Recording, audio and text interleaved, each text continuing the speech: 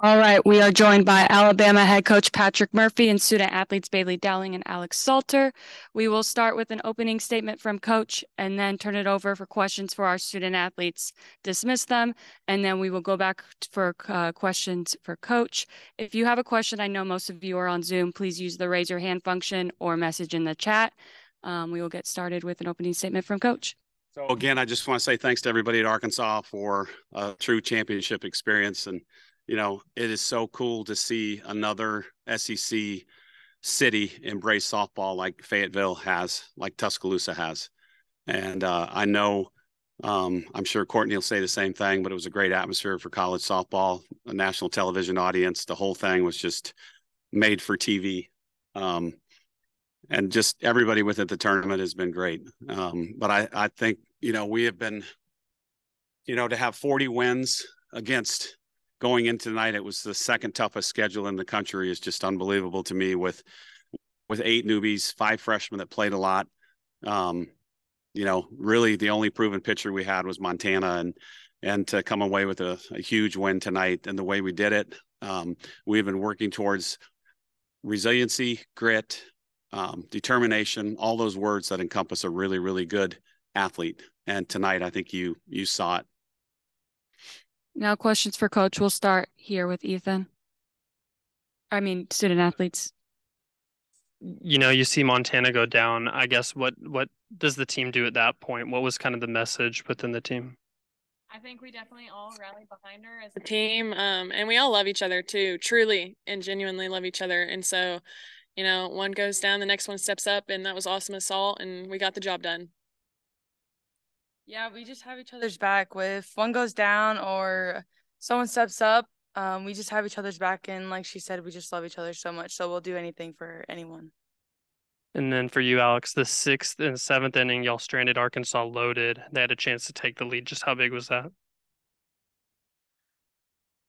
Just having each other's back, you know, just do what we can. Um, get people on, do what we can to get runs and literally do whatever we can.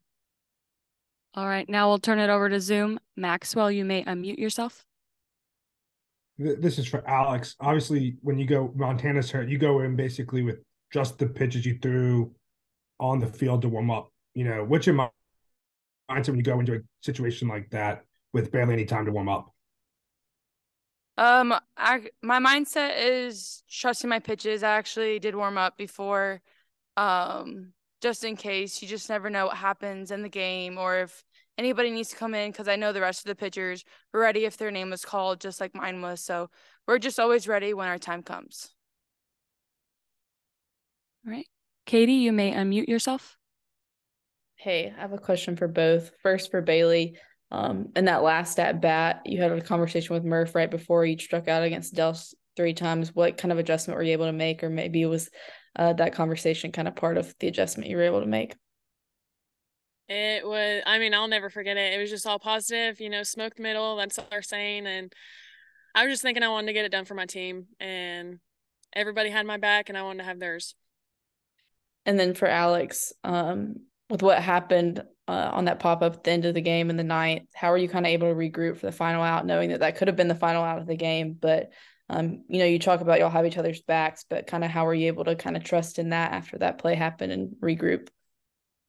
Uh, just let it go very quickly. We can't let it drag on, let it drag on to the next play. And we just trust each other. So we were just like, just get the next one and we're going to get the job done. Thank you, Bailey and Alex. You may be dismissed.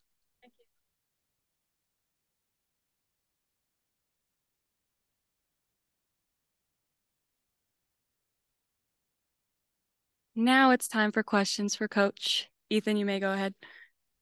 Trick, it was almost eerily similar to the last game that y'all played down against Arkansas in Tuscaloosa, except this time y'all came out on top in their environment. Just we talk about kind of the growth that you've seen in the team this year to be able to do that.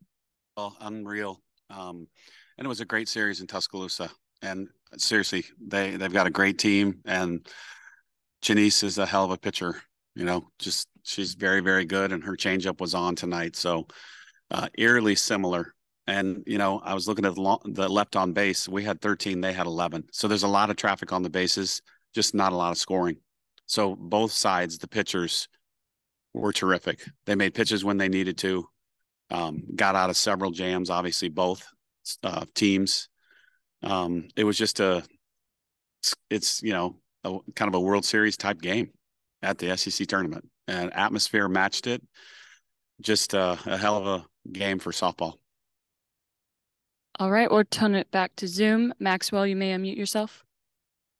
Yeah, um, just I know it's early, just happened, but any update on Montana and I guess how you guys are going to handle this going forward? No, there isn't. And um, she was going to pitch the first two, and then we were going to let the other three, whatever happened, whether it's one game, two game, doesn't matter.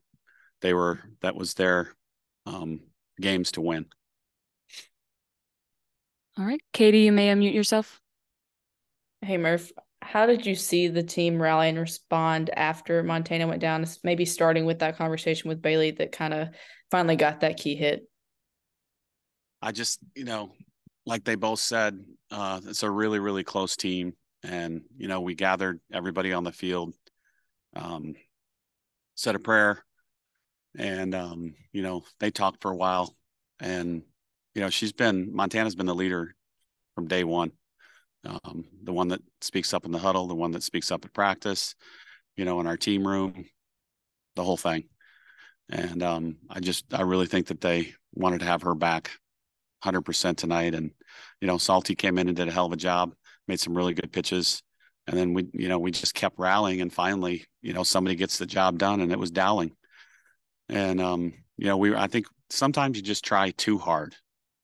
And this is a team that you've seen it, Katie. You know, everybody that covers us for Alabama has seen it.